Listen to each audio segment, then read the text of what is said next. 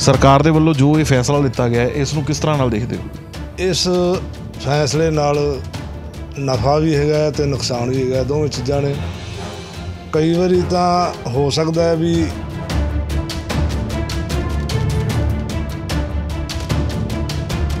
ਆਪਦੀ ਸਾਰੀ ਜ਼ਿੰਦਗੀ ਦਾ ਰੁਪਈਆ ਰੁਪਈਆ ਇਕੱਠਾ ਕਰਕੇ, ਮਿਹਨਤ ਨਾਲ ਇਕੱਠਾ ਕਰਕੇ ਪ੍ਰਾਪਰਟੀ ਆਦਾ ਬਣਾਉਂਦਾ ਹੈ।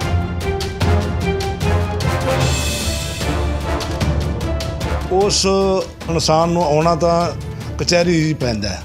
ਸਟਾਫ ਰੋਜ਼ ਕੋਲ ਹੀ ਆਉਣਾ ਪੈਂਦਾ ਹੈਗਾ ਸਟਾਫ ਰੋਜ਼ ਜਿਹੜਾ ਅੱਗੇ ਹੁੰਦਾ ਸੀ, ਪਹਿਲਾਂ ਸਰਕਾਰ ਵੱਲੋਂ ਛਪੇ ਸਟਾਫ ਖਜ਼ਾਨੇ ਚੋਂ ਲੈ ਕੇ ਸਤਿ ਸ੍ਰੀ ਅਕਾਲ, ਤੁਸੀਂ ਦੇਖ ਰਹੇ ਹੋ ਸਾਂਝਾ ਟੀਵੀ ਪੰਜਾਬ। ਮੈਂ ਹਾਂ ਰਵਿੰਦਰ ਤਨੇਜਾ। ਗੱਲ ਕੀਤੀ ਜਾਵੇ ਪੰਜਾਬ ਸਰਕਾਰ ਦੀ, ਤਾਂ ਪੰਜਾਬ ਸਰਕਾਰ ਦੇ ਸਿੰਚਾਈ ਮੰਤਰੀ ਬ੍ਰਹਮ ਸ਼ੰਕਰ ਜਿੰਪਾ ਦੇ ਵੱਲੋਂ ਬੀਤੇ ਦਿਨੀ ਇੱਕ ਅਨਾਉਂਸਮੈਂਟ ਕੀਤੀ ਗਈ ਹੈ, ਜਿਸ ਦੇ ਵਿੱਚ ਇਹ ਗੱਲ ਆਖੀ ਗਈ ਹੈ ਕਿ ਇੱਕ ਪੋਰਟਲ ਸਰਕਾਰ ਦੇ ਵੱਲੋਂ ਤਿਆਰ ਕੀਤਾ ਗਿਆ, ਜਿਸ ਦੇ ਵਿੱਚ ਹੁਣ ਰਜਿਸਟਰੀਆਂ ਜਿਹੜੀਆਂ ਹੈਗੀਆਂ, ਉਹਨਾਂ ਦੇ ਲਈ ਮਿਲਣ ਵਾਲੇ ਸਟੈਂਪ ਪੇਪਰ ਜਿਹੜੇ ਆ, ਉਹ ਈ ਸਟੈਂਪ ਪੇਪਰ ਮਿਲਣਗੇ। ਇਸ ਦੇ ਵਿੱਚ ਇਹ ਹਵਾਲਾ ਦਿੱਤਾ ਗਿਆ ਕਿ ਇਸ ਦੇ ਨਾਲ ਪੰਜਾਬ ਸਰਕਾਰ ਨੂੰ 35 ਕਰੋੜ ਰੁਪਏ ਦੀ ਜਿਹੜੀ ਹੈ ਸਾਲਾਨਾ ਬਚਤ ਹੋਏਗੀ, ਕਿਉਂਕਿ 35 ਕਰੋੜ ਰੁਪਈਆ ਪਹਿਲਾਂ ਸਟੈਂਪ ਪੇਪਰ ਤਿਆਰ ਕਰਨ ਤੇ ਜਿਹੜਾ ਹੈ, ਉਹ ਖਰਚ ਆਉਂਦਾ ਸੀ ਪੰਜਾਬ ਸਰਕਾਰ ਦਾ, ਹੁਣ ਉਸ ਤੋਂ ਬਚਤ ਹੋਏਗੀ। ਗੱਲ ਕਰਾਂਗੇ ਅਸੀਂ ਇਸ ਟਾਈਮ ਜਲਾਲਾਬਾਦ ਦੀਆਂ ਕਚਹਿਰੀਆਂ ਦੇ ਵਿੱਚ ਮੌਜੂਦ ਆ। ਔਰ ਗੱਲ ਕਰਾਂਗੇ ਜਾਣਨ ਦੀ ਕੋਸ਼ਿਸ਼ ਕਰਾਂਗੇ ਕਿ ਇਸ ਚੀਜ਼ ਦੇ ਫਾਇਦੇ ਕੀ ਨੇ ਔਰ ਨਾਲ ਦੀ ਨਾਲ ਜੇਕਰ ਨੁਕਸਾਨਾਂ ਦੀ ਗੱਲ ਕੀਤੀ ਜਾਵੇ ਤਾਂ ਇਸ ਦੇ ਨੁਕਸਾਨ ਕੀ ਨੇ। ਜੀ ਸਰ ਸਤਿ ਸ੍ਰੀ ਅਕਾਲ। ਸਤਿ ਸ੍ਰੀ ਅਕਾਲ। ਸਰ ਨਾਮ? ਰਮੇਸ਼ ਸੇਠੀ ਵਸੀਕਾ ਨਵੀਸ ਜਲਾਲਾਬਾਦ। ਸਿੱਖ ਸਾਹਿਬ ਬਹੁਤ ਲੰਬੇ ਸਮੇਂ ਤੋਂ ਤੁਸੀਂ ਇੱਥੇ ਸੇਵਾਵਾਂ ਦੇ ਰਹੇ ਹੋ। ਸਰਕਾਰ ਦੇ ਵੱਲੋਂ ਜੋ ਇਹ ਫੈਸਲਾ ਲਿੱਤਾ ਗਿਆ ਹੈ, ਇਸ ਨੂੰ ਕਿਸ ਤਰ੍ਹਾਂ ਨਾਲ ਦੇਖਦੇ ਹੋ?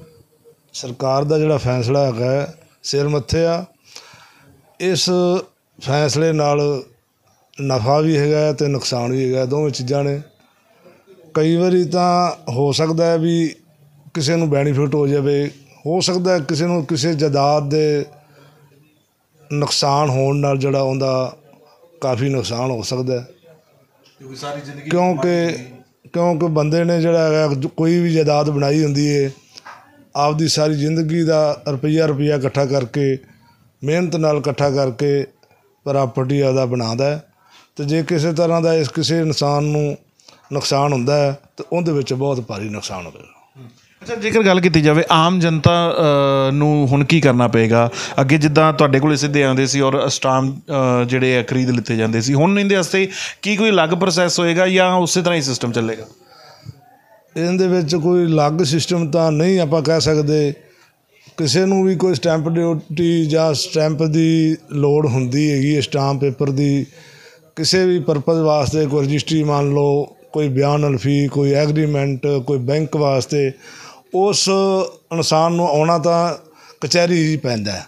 ਸਟਾਫ ਰੋਜ਼ ਕੋਲ ਹੀ ਆਇਆ- ਆਉਣਾ ਪੈਂਦਾ ਹੈਗਾ ਸਟਾਫ ਰੋਸ ਜਿਹੜਾ ਅੱਗੇ ਹੁੰਦਾ ਸੀ, ਪਹਿਲਾਂ ਸਰਕਾਰ ਵੱਲੋਂ ਛਪੇ ਸਟਾਫ ਖਜ਼ਾਨੇ ਚੋਂ ਲੈ ਕੇ ਮੁਹੱਈਆ ਕਰ ਦਿੰਦੇ ਸੀ।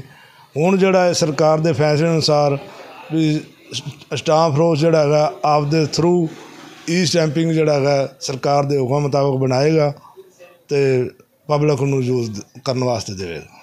ਅੱਛਾ ਜੇਕਰ ਗੱਲ ਕੀਤੀ ਜਾਵੇ ਤਾਂ ਕੋਈ ਸ਼ੱਕ ਨਹੀਂ ਕਿ ਤਰੱਕੀ ਹੋ ਰਹੀ ਹੈ ਡਿਜੀਟਲ ਹੋ ਰਿਹਾ ਸਾਰਾ ਕੁਝ ਡਿਜੀਟਲ ਹੋ ਰਿਹਾ। ਇਹ ਵੀ ਇੱਕ ਕਦਮ ਹੈ ਡਿਜੀਟਲ ਦੇ ਵੱਲ ਕਦਮ ਹੈ ਪੋਰਟਲ ਸਰਕਾਰ ਦੇ ਵੱਲੋਂ ਸ਼ੁਰੂ ਕੀਤਾ ਗਿਆ। ਖੁਦਾ ਨਾ ਖਾਸ ਤਾਂ ਜੇਕਰ ਕੋਈ ਇਸ ਪੋਰਟਲ ਦੇ ਵਿੱਚ ਸੰਨ ਲਾ ਲੈਂਦਾ ਤਾਂ ਫਿਰ ਇਹਦਾ ਨੁਕਸਾਨ ਕੀ ਹੋਏਗਾ? ਨੁਕਸਾਨ ਤਾਂ ਵੇਖੋ ਜੀ ਇਹਦੇ ਵਿੱਚ ਸਰਕਾਰ ਦਾ ਵੀ ਨੁਕਸਾਨ ਹੈ। ਕਾਫੀ ਹੋ ਸਕਦਾ ਹੈਗਾ। ਕਿਉਂਕਿ ਕੰਪਿਊਟਰ ਯੁੱਗ ਚੱਲਦਾ ਪਿਆ। ਕੋਈ ਇਹ ਜਿਹਾ ਸ਼ਰਾਰਤੀ ਅਨਸਰ ਆਪਦੇ ਹੱਥ ਵਿੱਚ ਕੋਈ ਲੈ ਕੇ ਚੀਜ਼ ਇਸ ਦੀ ਤੇ ਉਹਦਾ ਫਾਇਦਾ ਉਠਾ ਸਕਦਾ ਹੈ ਜਿਹਦੇ ਵਿੱਚ ਸਰਕਾਰ ਦਾ ਕਾਫੀ ਨੁਕਸਾਨ ਹੋਣ ਦਾ ਡਰ ਹੈ। ਬਾਕੀ ਸਰਕਾਰ ਜੋ ਫੈਸਲੇ ਕਰ ਰਹੀ ਹੈਗੀ ਹੈ, ਬਹੁਤ ਵਧੀਆ ਕਰ ਰਹੀ ਹੈਗੀ ਹੈ। ਮਾਨ ਸਰਕਾਰ, ਇਹ ਜਿਹੜੇ ਨੇ ਜੋ ਵੀ ਫੈਸਲੇ ਕਰਦੇ ਨੇ ਬਹੁਤ ਬਹੁਤ ਵਧੀਆ ਕਰ ਰਹੇ ਨੇ। ਪਬਲਿਕ ਵਾਸਤੇ ਕਰ ਰਹੇ ਨੇ। ਤੇ ਇਹਦੇ ਵਿੱਚ ਜਿਹੜਾ ਹੈਗਾ ਸਰਕਾਰ ਦਾ ਬਹੁਤ ਵਧੀਆ ਰੋਲ ਹੈ। ਤੁਸੀਂ ਕਿੰਨੇ ਸਹਿਮਤ ਹੋ? ਸਰਕਾਰ ਕਹਿੰਦੀ ਹੈ 35 ਕਰੋੜ ਰੁਪਈਆ ਜਿਹੜੀ ਹੈ ਸਾਲਾਨਾ ਬਚਤ ਹੋਏਗੀ ਜਿਹੜੀ ਪਹਿਲਾਂ ਪੇਪਰ ਲੱਗਦਾ ਸੀ ਉਸ ਦੀ ਛਪਾਈ ਹੁੰਦੀ ਸੀ। ਹਾਂਜੀ ਹਾਂਜੀ। ਇਹਦੇ ਵਿੱਚ ਸਰਕਾਰ ਦਾ ਬੈਨੀਫਿਟ ਤਾਂ ਜ਼ਰੂਰ ਹੈ ਕਿਉਂਕਿ ਪਹਿਲਾਂ ਸਰਕਾਰ ਨੂੰ ਜਿਹੜੇ ਸਟਾਮ ਨੇ ਉਹ ਛਪਾਈ ਵਾਸਤੇ ਤਿਆਰ ਕਰਨ ਵਾਸਤੇ ਖਰਚਾ ਕਰਨਾ ਪੈਂਦਾ ਸੀ। ਹੁਣ ਜਿਹੜਾ ਹੈਗਾ ਉਹ ਖਰਚਾ ਸਰਕਾਰ ਦਾ ਬਚ ਸਕੇਗਾ।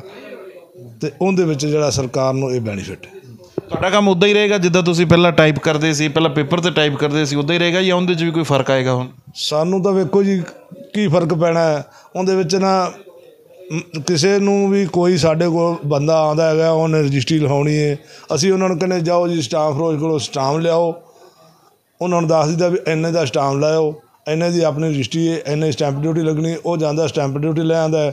ਹੁਣ ਇਹਨਾਂ ਹੈਗਾ ਵੀ ਉਹ ਪੈਸੇ ਜਿਹੜੇ ਐਡਵਾਂਸ ਪਹਿਲਾਂ ਜਿਹੜਾ ਹੈਗਾ ਜਮ੍ਹਾਂ ਕਰਾਉਣੇ ਪੈਣ ਕਰਨਗੇ ਸਟਾਫ ਰੋਜ਼ ਨੂੰ, ਤਾਂ ਕਿ ਉਹ ਪਹਿਲਾਂ ਆਪਦੇ ਬੈਂਕ ਦੇ ਖਾਤੇ ਜਮ੍ਹਾਂ ਕਰਾਵੇ, ਫਿਰ ਉਸ ਤੋਂ ਬਾਅਦ ਈ ਸਟੈਂਪਿੰਗ ਜਿਹੜੀ ਇਸ਼ੂ ਕਰ ਸਕਦਾ ਹੈ। ਤਾਂ ਕਿਤੇ ਨਾ ਕਿਤੇ ਫਾਇਦੇ ਔਰ ਨੁਕਸਾਨ ਜਿਹੜੇ ਆ, ਉਹ ਦੋਵੇਂ ਦੱਸ ਰਹੇ ਆ, ਸਾਡੇ ਨਾਲ ਮੌਜੂਦ ਸੀਗੇ ਅਰਜੀ ਨਵੀਸ਼ ਜਲਾਲਾਬਾਦ ਤੋਂ, ਔਰ ਜਿਨ੍ਹਾਂ ਦਾ ਕਹਿਣਾ ਹੈ ਕਿ ਜਿੱਥੇ ਇੱਕ ਪਾਸੇ ਡਿਜੀਟਲ ਹੋ ਰਿਹਾ ਤਾਂ ਪੋਰਟਲ ਦਾ ਜਿਹੜਾ ਕੀ ਹੈ ਜੇਕਰ ਗਲਤ ਕੋਈ ਆਨਸਰ ਇਸ ਦੇ ਵਿੱਚ ਸੇਂਧਮਾਰੀ ਕਰਦਾ ਤਾਂ ਇੱਕ ਵੱਡਾ ਨੁਕਸਾਨ ਵੀ ਹੋਏਗਾ, ਲੇਕਿਨ ਦੂਜੇ ਪਾਸੇ ਸਰਕਾਰ ਨੇ ਜੋ ਤਰਕ ਦਿੱਤਾ ਹੈ ਕਿ 35 ਕਰੋੜ ਰੁਪਈਆ ਸਾਲਾਨਾ ਦੀ ਬਚਤ ਹੋਏਗੀ, ਉਸ ਤੇ ਸਹਿਮਤੀ ਪ੍ਰਗਟ ਕੀਤੀ ਹੈ ਕਿ ਵਾਕਿਆ ਹੀ ਸਰਕਾਰ ਦੀ ਇਸ ਦੇ ਨਾਲ ਜਿਹੜੀ ਹੈ ਪੈਸੇ ਦੀ ਬਚਤ ਹੋਏਗੀ ਤਾਂ ਲਗਾਤਾਰ ਸਰਕਾਰ ਦੇ ਵੱਲੋਂ ਜੋ ਫੈਸਲੇ ਕੀਤੇ ਜਾ ਰਹੇ ਆ, ਉਹਨਾਂ ਦੇ ਨਾਲ ਕਿਤੇ ਨਾ ਕਿਤੇ ਜਨਤਾ ਜਿਹੜੀ ਹੈ ਉਹ ਪ੍ਰਭਾਵਿਤ ਦਿਖਾਈ ਦੇ ਰਹੀ ਹੈ। ਜਨਤਾ ਦਾ ਕਹਿਣਾ ਹੈ ਕਿ ਸਰਕਾਰ ਦੇ ਵੱਲੋਂ ਜਿਹੜੇ ਸਹੀ ਫੈਸਲੇ ਲਿੱਤੇ ਜਾ ਰਹੇ ਆ ਔਰ ਇਹਨਾਂ ਦੇ ਨਾਲ ਆਉਣ ਵਾਲੇ ਸਮੇਂ ਦੇ ਵਿੱਚ ਜਿਹੜਾ ਜਨਤਾ ਨੂੰ ਰਾਹਤ ਮਿਲੇਗੀ। ਫਿਲਹਾਲ ਹੁਣ ਦੇਖਣਾ ਹੋਏਗਾ ਕਿ ਈ ਸਟੈਂਪ ਪੇਪਰ ਲਾਗੂ ਹੋਣ ਤੋਂ ਬਾਅਦ ਹਾਲਾਤ ਕਿੱਦਾਂ ਦੇ ਹੁੰਦੇ ਆ। ਵੀਡੀਓ ਜਰਨਲਿਸਟ ਮੋਟੀ ਚੁੱਕ ਦੇ ਨਾਲ ਅਰਵਿੰਦਰ ਤਨੇਜਾ ਸਾਂਝਾ ਟੀਵੀ ਪੰਜਾਬ।